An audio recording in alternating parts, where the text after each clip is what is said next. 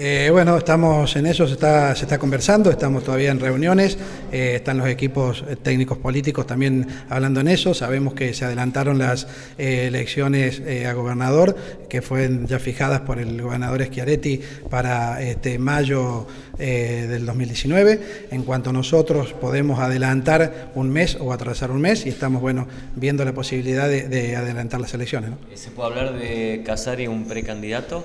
Sí, sí, podemos hablar, Casari un precandidato con muchas ganas eh, y bueno, y eso es lo más importante, de poder eh, eh, querer, tener y ser intendente de Vicuña Maquena, ¿no? Así que sí, con muchísimas ganas. primero que nada, lo primero es saludar y desearle a toda la ciudad un feliz año nuevo, que esto nos, nos mantenga en, a todos en, la misma eh, función y el mismo eh, ímpetu de trabajo que tuvimos como el 2018 para poder dejar todo para, para nuestra ciudad. ¿no?